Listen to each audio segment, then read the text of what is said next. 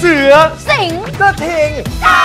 มีหลาย ๆ เรื่องที่เพิ่งมารู้กันวันนี้เหมือนกันบางเรื่องเราก็เซอร์ไพรส์ไปเลย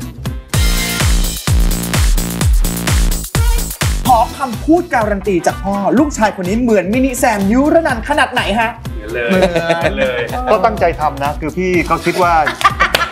อย่างเงี้ยอันเองปะมันต้องตั้งใจเหรอพี่ไม่น่าไม่น่าจะเผลอเผลอแลมโบ้ครับ ใครว่าเป็นลูกคนดังและสบายอึดอัดขั้นไหนที่เอ่ยปาก ไม่อยากเป็นลูกแซม จริง ๆ ก็มีบ้างครับจริงๆอันนี้ไม่เคยบอกพ่อด้วยมั้งฮะคนเนี่ยเวลามองเนี่ยก็จะมองว่าเราเป็นลูกของคุณพ่อ ไม่ใช่คอนเท็กซ์ไม่ใช่ตัวตนที่เราจะเป็นสารภาพไหมครับแมนแมนๆคุยกัน ก็เผลอมีอารมณ์หลุดพูดจาแรงๆทิ่มแทงใจกัน อยู่เขาก็แบบ ก็เนี่ยลูกถามอยู่หลายครั้งแล้วว่าโฉนดตรงเนี้ยหรือพ่ออะไรตรงเนี้ยพ่อเอาไว้ตรงไหน อ้าวพวกผมป่วยเนี่ยมองข้ามช็อตไปถึงพ่อตายเลยเหรอ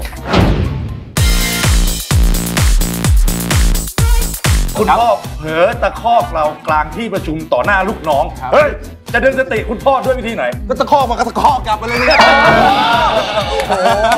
มันเรื่องสมมติไงทำไม่ได้ไม่ใช่มันเรื่องสมมุติใช่ไหมคือมันเรื่องสมมุติใช่ไหมฮะ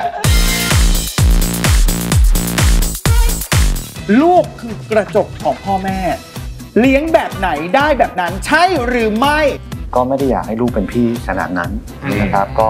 ให้เขาเป็นตัวเอง ให้วันหนึ่งเนี่ยเขามีโอกาสเป็น master master ก็คือตัวจริง ต้องขอบคุณคุณพ่อแหละครับที่ทำให้เราได้มายืนอยู่ในตรงเนี้ยในจุดของทุกๆ วันเนี้ยครับ ก็ต้องทำหน้าที่ลูกให้ดีที่สุดเลย